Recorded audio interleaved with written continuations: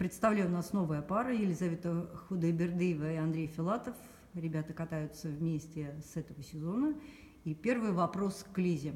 Лиза, вы с Никитой на юниорском чемпионате мира стали призерами. И для многих была неожиданность, что ваша пара распалась. Можешь э, сказать, почему, вот в чем была причина? А, да, мы стали серебряными призерами юниорского чемпионата мира, а, выполнили свой максимум, откатались э, э, как в последний раз, э, ну, довольно символично на самом деле так и получилось, что откатались в последний раз вместе с ним. А, разговоры какие-то об этом шли еще после финала юниорского гран-при, но, естественно, было трудно, потому что три года работы и вроде хороший результат, но дальшего сотрудничества успешного, скорее всего, бы не произошло, потому что у нас очень разный подход к работе, очень разный взгляд на фигурное катание. Цели, может быть, какие-то и одни, просто по-разному мы а, хотим, может быть, чего-то, и, может быть, по-разному понимаем, как чему-то нужно, как к этой цели, как идти.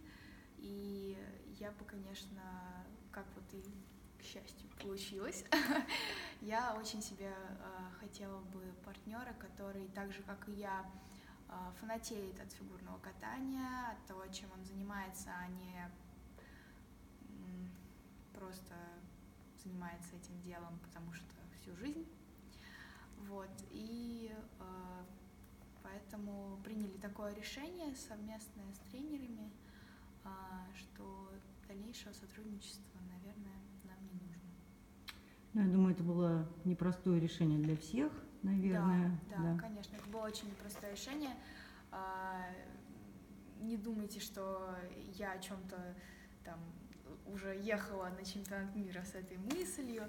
Нет, конечно, а, когда такой а, объем совместной работы и а, результаты хорошие достаточно, трудно очень прекратить катание, и даже по возвращению в Москву из Загреба не хотелось верить в то, что все это должно закончиться – я оттягиваю этот момент тренировки, как вышли, думала, ну сейчас что-то поменяется, сейчас вот э, мы вдохновимся этой такой победой над собой э, и начнем работать, и все будет классно, но э, уже не знаю, к сожалению или к счастью, этого не случилось, поэтому трудно, тяжело, но оно так должно было быть. Как создавалась ваша пара? Как вы нашли с Андреем друг друга. Вот э, расскажите, пожалуйста, об этом. Кто из вас? Наверное, ты? Давай ты первая. Да, поскольку как человек а, опытный. Ну, вообще, пробовали мы еще очень, очень, очень давно. А, вот. А, только-только, да, ты расстался тогда? Да. Э, раньше. Не прошло недели, Лиза пришла на просмотр ко мне. Да, Андрей катался с Сашей Мельхиной. А, вот примерно такая же, наверное, ситуация, просто по другим причинам пара распалась. Он сказал партнершу. А, мы попробовали, раза два мы прокатались, два дня, наверное, для тренировки. Вот, но тогда мне было 13, э, и я ни одного партнера за руку даже не держала. Вот, а Андрей был э, на пике своей формы, так скажем, и своей карьеры. Вот, в общем, не сложилось. Э, и как-то так вот. И я, второй я... заход. Да, да, второй заход. Вот. Э, ну, так и получилось, что я приняла решение с тренерами совместное. Э, приняли решение, что с Никитой кататься мы перестаем. А, каждый идет по своей, своей дорогой, по своему пути. А, что дальше? А, думаем, ну, поищем, наверное, партнера мне, потому что я понимала, что пропускать сезон — это путь в никуда. Очень трудно будет э, возвращаться, если я пропущу этот сезон 19-20. А, надо было как-то это все делать очень быстро. Ну, была проблема в том, что мальчиков не было. Ник, никто не распался так же, и никого я ни о ком и в принципе не думала. А, а, несмотря на то, что Андрей катался полгода уже у нас один в группе, видимо, моя внутренняя гордыня говорила, что никогда не встанет с этим человеком в пару. Вот. А, ну, не знаю, как-то даже не думали мы на этот счет. Я попробовалась а, с Федей Варламовым, это бывший партнер Дианы. Мы попробовали, тренеры сказали, что как-то что-то не то.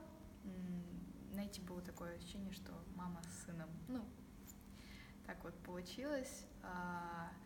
Я предоставила полный выбор своего партнера своим тренерам. Как, как бы сказали они, так бы и было. С кем надо, с тем пробуюсь, ничего. И э, Денис Торч тогда уехал э, на э, мир, на чемпионат мира взрослый.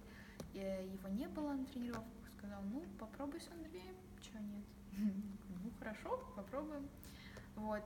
И как-то так все очень было ладненько очень удобно. Мы покатались, я написала удобно. Ну ладно, покатайся еще завтра. А, мы покатались еще завтра. Я поняла, что еще удобнее стало.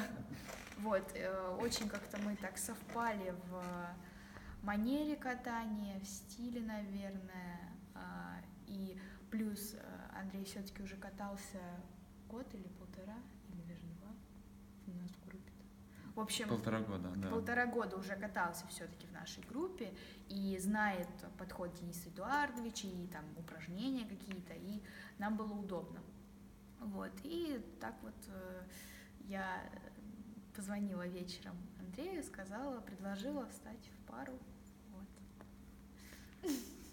Андрей, а ты ведь э, с Сашей катался в Одинцово Алексея Юрьевича Гашкова, да. да?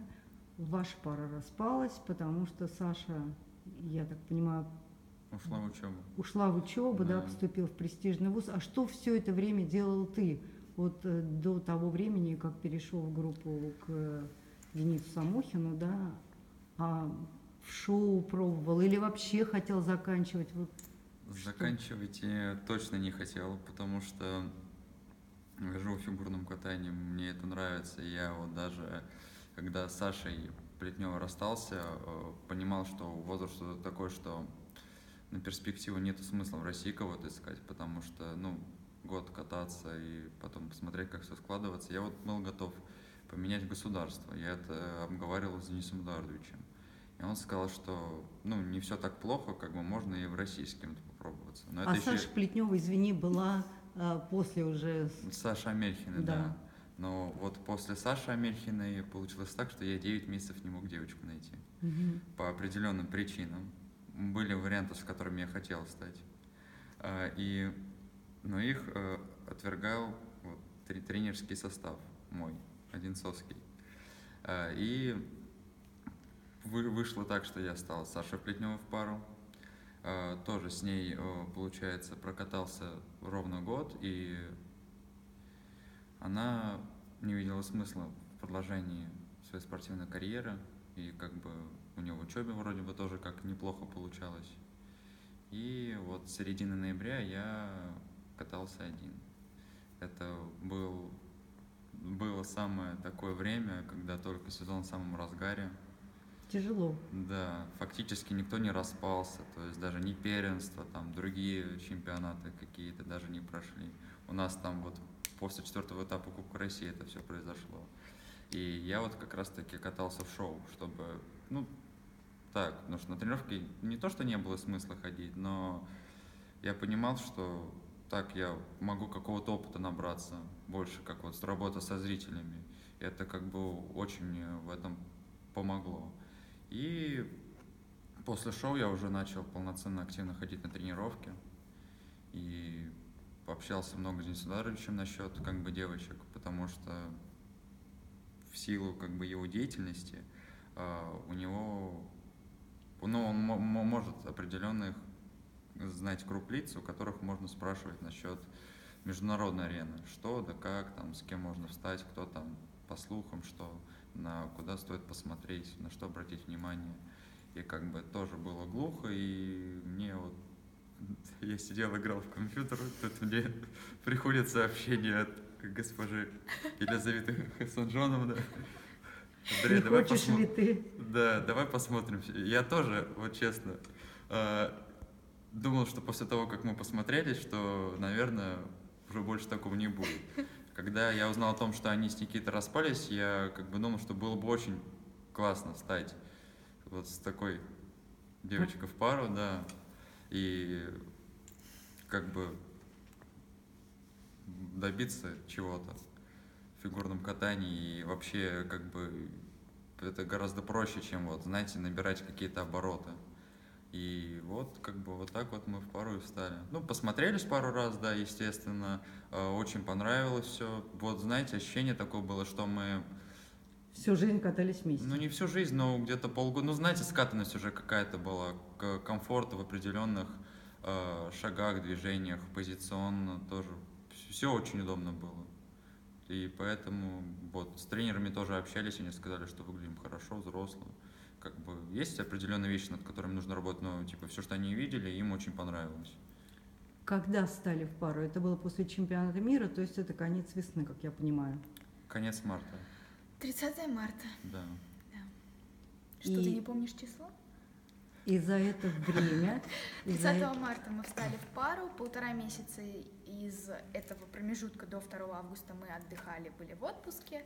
А, около трех месяцев. Три с половиной месяца, грубо говоря, да, мы катаемся в паре. В паре. Программы, а, насколько они вам нравятся? Э, кто предложил музыку? Э, тренеры или mm вы сами какую-то инициативу проявляли, поскольку уже люди опытные все-таки? А, музыку сначала мы определились с произвольным танцем. А, это вокалист, солист группы One а, Direction. Бывший, бывший да, солист группы One Direction Гарри Стайлз. Очень интересный персонаж. А, он и помимо того, что является вокалистом, и работает моделью очень серьезных брендов, и как личность он очень такой разнообразный и серьезный парень. И... Была очень забавная ситуация, а, когда в том году а, как это бывает, на тренировке приходят спортсмены и под раскаточку там ставят музыку, какая им нравится. И Андрей еще тогда, катаясь с Сашей Плетневой, я еще с Никитой, просто так поставил вот uh, Signing of the Times, uh, наш произвольный танец сейчасшний. Uh, я сказала, М, какой классный трек, вот, но он мне пригрозил пальцем и сказал, ты знаешь, я его бы хотела на следующий сезон, поэтому даже не смотри. Вот. И я тогда подумала, блин, как же жаль, что я никогда его не смогу прокатать, потому что Андрей его хочет. Вот. Ну, в так результате вот все сложилось. Судьба, да, да, да, да. что мы оба кайфуем от этой композиции, и э, мы абсолютно влюблены в что в короткий ритм да. танец, что в произвольный. Э, отдельное вот спасибо, благодарность человеку, потому что Музыку мы резали сами, обычно этим просто занимаются тренеры. Я тоже попробовала что-то, э, что-то тоже компоновала, никогда этим не занималась. Много мы работали именно сами в этом смысле, э, но произвольный танец предложил вот Андрей. Мы долго относительно долго думали, искали какие-то еще образы, потому что музыка такая лиричная очень, и плюс еще, знаете, очень важен, очень важный параметр, э, это то, что вот скатанностью пара должна да. быть определенная. То есть э, мы, мы на самом деле рассматривали больше вот все из э, этого стиля, знаете, такого любовного, легкого. Ну тоже как бы и не из любовного. Лиза предлагала блюз, и мы понимаем, что... Даже тот же блюз, мы вот на тот момент, если сейчас мы более-менее так знаем, на тот момент мы вообще друг друга, вот фишки какие-то, у кого какой характер лучше получается, мы ничего не понимали в принципе. И вот какую-то тему выбрать было очень сложно, да. потому что мы за руку третий день держимся. Вот поэтому мы как-то думали, думали, думали, приняли решение, что будет очень трудно накатать какую-то э, ярко-тематическую программу произвольную. И взяли вот Гарри Стайлза, чему несказанно рады. Да, безумно счастливы. Да. А ритм танец? С ритмом танцем э, было гораздо сложнее, потому Да. что э, это очень, ну, в силу, новый в танец, силу да. правил нынешних, э, это очень ограниченный круг вы- Движение? выбора музык, А, музыки. выбор музыки, да. Э, как бы вот в июне вроде бы какие-то реформы Да. были введены насчет того, что можно там из мюзик-фильма или из мюзиклов прокатать серию, а дальше можно брать там блюз, ну все, знаете, вот Мгм. из э, дж- джаза. И мы уже только на сборах смогли определиться с э, нашим ритм-танцем, э, с тем, под что мы будем катать э, именно с э, Tea Time Foxtrot и какие еще части будем добавлять, ну, какие треки выбирать. Э, Мы тоже рассматривали много вариантов. Мы вот, вот нам очень нравился, понравился фильм, мюзик-фильм э, «Величайший шоумен». Я даже в, в редакторе музыкальном пытался создать нужный бит, э, включил Дениса Нардовича, но он сказал, что там как бы... Звучит да, некрасиво, вот. и сразу видно, что вот ребята под, под- подкорректировали, чтобы Искусственно. подошло. искусственно Да, сделали, да, и да. это не звучало правильно по квадратам музыкальным.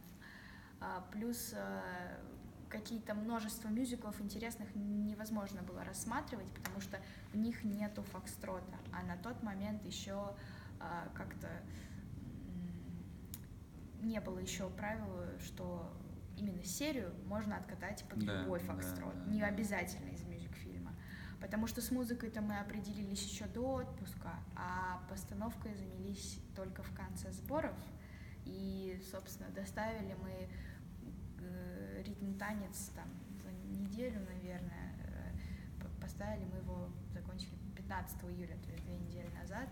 И Не принципе, совсем еще, да, да, накатан. да, не Мгм. совсем еще в принципе мы скатаны, программы накатаны, вот, э, поэтому было трудно, достаточно, можно сказать, что La La Land это все-таки такой вариант, как знаете, ну, наверное, все будут катать Да, La La мы- Land, мы потому что вот это самый очевидный такой Музыка вариант. очень хорошая, очень серьезная, фильм очень интересный, стимулирующий, вдохновляющий, но мы, правда, очень опасались за то, что это будет на каждом старте у- нескольких Да. пар. Да. Это Ну, так прям получилось. такое. Да, так получилось, что Да, мы так приехали на тренировку, и вот наши товарищи, коллеги тоже Да, в одной же группе. В одной же группе. Но наша задача будет э, Выделяться. выделяться, чтобы это был не еще один Лоланд, Да, а очередной. этой пары. Да, которые то, вот- что вот есть Лалаленд Худобердиева и Филатова, Да, а потом и у всех остальных. остальное. Образцово-показательный Лалаленд. Да, да, вот мы будем стремиться к этому. Ну, пара новая, у вас сейчас все начинается как бы как в первый раз, да, Да. поэтому я желаю вам, ребята, успехов, и Спасибо. чтобы все у вас Спасибо большое. получилось. Спасибо. Спасибо.